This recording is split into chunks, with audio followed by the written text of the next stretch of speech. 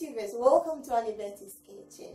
So, our special guest is still here with us. So, be prepared, you'll be seeing him more often. So, without much ado, Wanda in the house. okay, what are we doing today? AnneBetty's homemade banana bread. Delish. Uh-huh. I was waiting for that. Are you going to tell them about how you ate the other one? Yes, the you gobbled it? day I gobbled it all up in my tummy. And I didn't even realize till Mummy asked me. I had almost eaten a whole loaf and I did not realize it because it was so delicious. So you guys try this now and me and Mummy are gonna pause so you can subscribe and like this video. Mama, please can you heat the oven to 200 degrees? Sure, okay. Okay, so now let's tell them about the ingredients.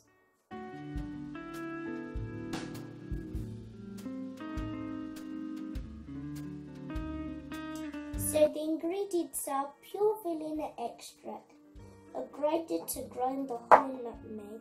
Then we have some mixed spices, some. Mummy, what's this?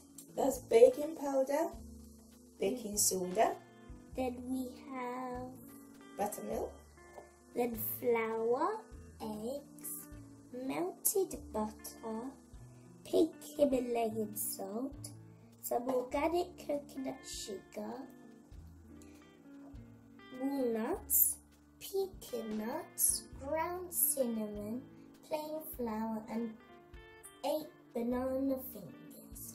So if you've got any overripe bananas, please don't throw them away. They made the perfect banana bread recipe. Unfortunately, I've been baking so much this week, so all my overripe bananas are gone. But the perfect banana to use is the overripe one. So if you've got that, please don't chuck it out. Bake, and this will send your neighbors knocking on your door. Trust me, you need to try out this recipe. So now we're going to grease the pan so all the ingredients don't get stuck together. So you can use softened butter, or if you've got any um, spray, um, you can spray it up. Um, so we are just going to use hot brush and grease it. Dust the pan with flour. Plain flour.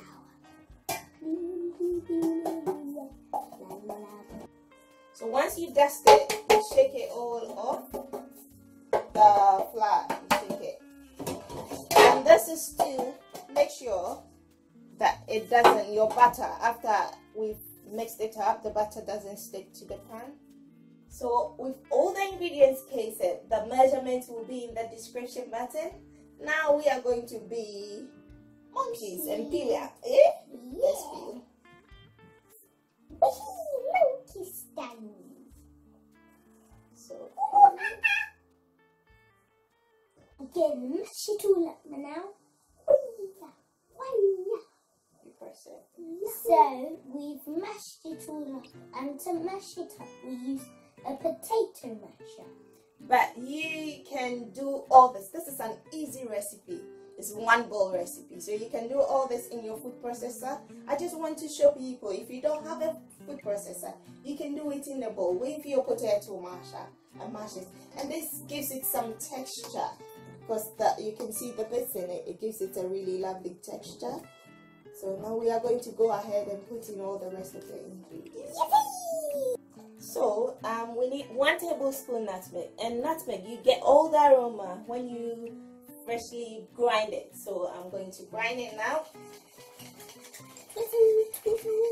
This makes it so easy to grind. Just a pinch of cinnamon, just a pinch, but it makes a whole lot of difference. Then we got some Himalayan pink salt. Some mixed spices. Some coconut sugar, which is Holding, organic. holding well, yeah. Carefully, well done. And put in And then we have. Bring the flour. Bring the flour. So we have some. Gently, yeah? Sensibly pour it. Go on. Well done. The rest, come in. Then we have the. Then we make a hole in the middle. It makes it easy to mix. Bring the rest. Hold on. Now, what is this? That's the buttermilk. So then we do some buttermilk. Helps it to be moist. And we have some Baking powder. baking powder. All of it. Well done. Bring the soda. The soda in it. Good. And we put in two tablespoons of vanilla extract.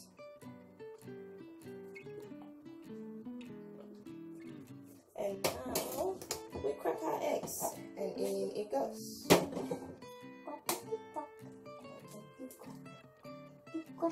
I normally prefer to crack the egg and check if it's all right before you pour it in. Otherwise, you're going to spoil, spoil the whole lot.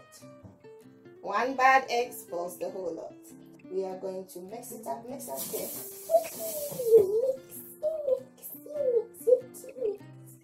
Nuts, you can leave your nuts whole like this. But the first time I made them for home, Kay removed all the nuts. And the second time, mommy's little secret, I crushed it. And he came back and said, Mommy, this is more yummy because there are no nuts. So, little secret, if you're doing it for kids, you can crush it so they don't take it out. If it's for adults and you want it chunky, then you can leave it. I'm crushing the nuts up so You- it's delicious.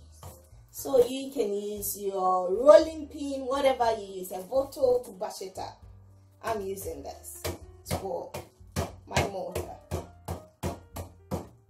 Finish crushing it up. Now we're going to pour it in. And you can crush it with your grinder, your processor. I just want to show that if you don't have any fancy for kitchen gadgets, you can you can be creative in the kitchen and crush it in the bag like we've just done.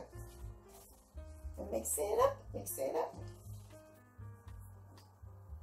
So if um, you want just one pan, one loaf tin, this is um 9 by 5 inch loaf tin and the quantity we've made eh, is going to go in these what we pour it you see. But if you want one you just have the measurements. The measurement will all be in the description button you just take half of each ingredient. It's okay. Let's pour it in. We've poured the banana bread butter in the pans.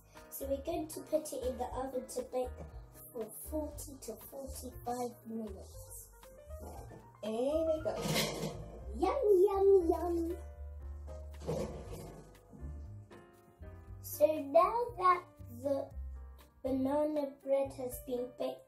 40 minutes, we need to insert the skewer. You can use a skewer or a toothpick to do this. where do you insert it You insert it to the pointy bit. You can use a skewer or toothpick to do this.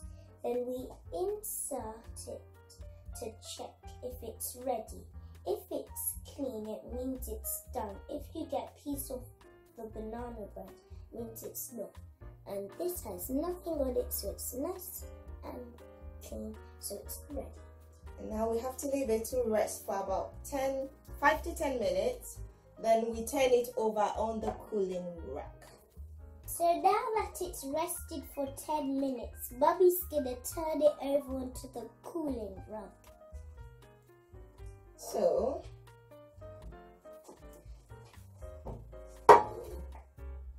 goes onto the cooling rack and we leave it to cool down before we cut so that it's properly set and it doesn't split when it's cut.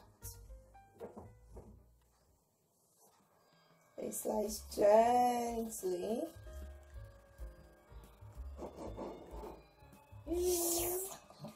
Yummy goodness. Mm.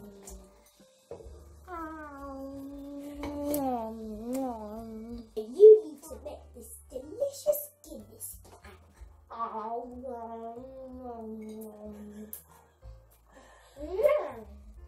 So see the yummy goodness, people. This is good. I know Kay is going to finish a loaf after, aren't you? Yeah, he is. Yes. Ah. ah. Did you see him? How he gobbled it up? He's going to finish it. You need to try this yummy goodness, people. And if you like a private chef or you want private lessons, you want catering services, all the contact details are in the description button. And if you haven't subscribed yet, please subscribe so you'll be seeing Kay and me doing a lot of and so that we can teach our boys and our men to cook. So the ladies we can have some rest Thank you for watching. Ciao. Have a fun time making your food.